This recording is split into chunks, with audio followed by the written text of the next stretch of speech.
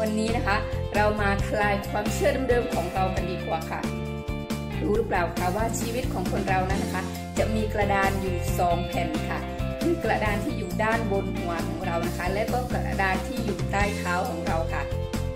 กระดานที่อยู่ด้านบนนี้นะคะ ก็คือเป็น limit ความเชื่อของเราค่ะ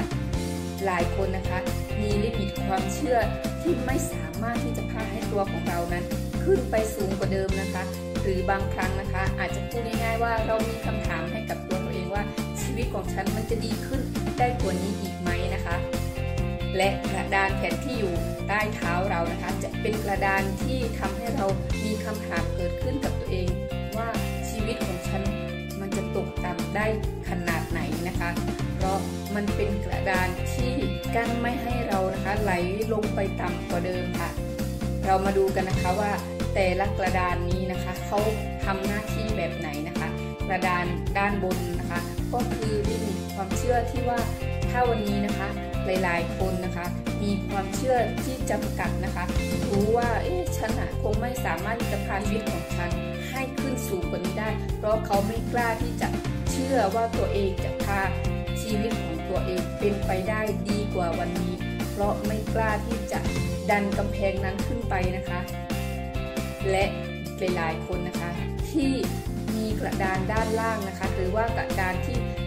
กันไม่ให้ตัวเองต่ำลงไปนั้นนะคะ กระดานแต่งล่างนั้นมักปล่อยให้ความล้มเหลวเข้ามาในชีวิตนะคะ มันมาเกิดขึ้นในชีวิตของเราได้แบบสบายๆ ต่อเมื่อวันใดก็ตามนะคะ ที่คุณบอกกับตัวเองว่าชีวิตของฉันมันต้องดีขึ้นกว่านี้ได้แน่นอนนะคะ นั่นแหละจะทำให้คุณนะคะสามารถทะลุเพดาน ที่อยู่บนหัวของคุณขึ้นไปได้ เพราะว่าคุณจะต้องกระเทาะ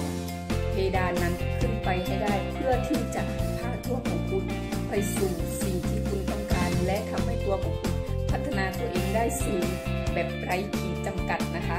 ถ้าวันนี้กระดานแผ่นล่างของคุณเสียนะคะหรือว่าผุพังนะคะคุณจงซ่อมมันนะคะ เพื่อไม่ให้ชีวิตของคุณ